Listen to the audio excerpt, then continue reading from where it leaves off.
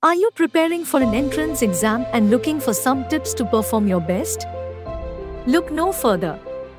In this video, we will share some proven strategies to help you ace that exam. First, it's essential to set a study schedule and stick to it. This will help you stay on track and make sure you're covering all the material you need to know. Next, break up your study sessions into shorter, more manageable chunks. This will make it easier for you to focus and retain the information. Also, practice past papers, understand the pattern, and focus on your weak areas. This will help you get a feel for the exam format and give you an idea of what to expect.